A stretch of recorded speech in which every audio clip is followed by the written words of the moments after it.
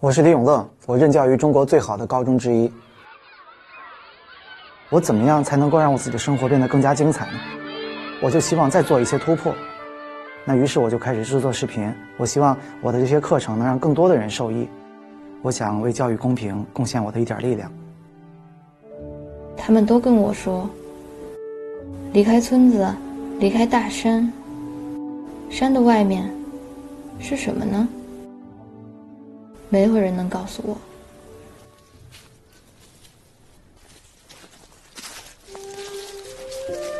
农村的贫穷不只体现在经济上，也体现在知识上。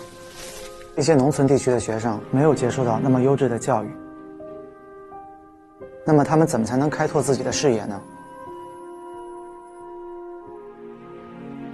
孩子的父母知道外面的世界很精彩，但是他们又无可奈何。喂，哎，你物理作业写完了吗？我也不懂啊，上节课太难了，谁能辅导啊？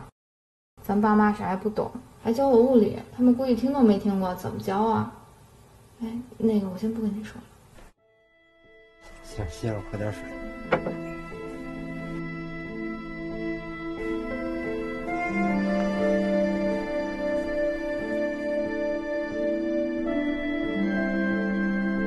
孩子的父母，他们认为这就是现实。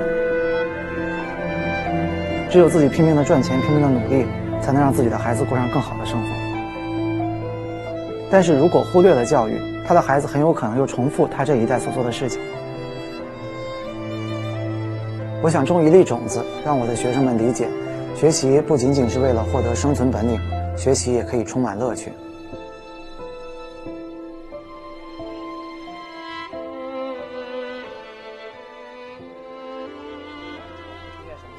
你们在看的啥？这是李老师的视频。哦，他讲什么呀？他讲的是自然科学和物理知识。科里奥利力的影响，所以它往右偏，往右偏，这么走，对吧？这边也是过来了，然后往右边偏。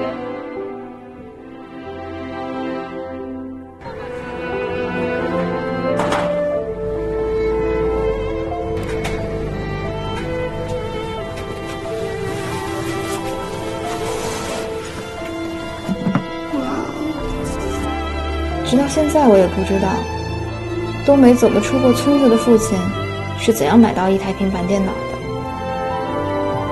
但他的出现打开了新的窗口。这个是那个李永乐老师在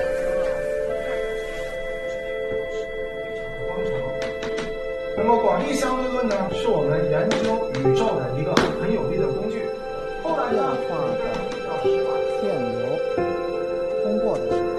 我觉得我就是为这些农村的孩子开了一扇窗，可以不一样，带一个反向的电动式。这样一来呢，我做视频这几年，我感觉到快乐。但我觉得呢，其实这件事是个很普通的事儿，只是我把它做出来了。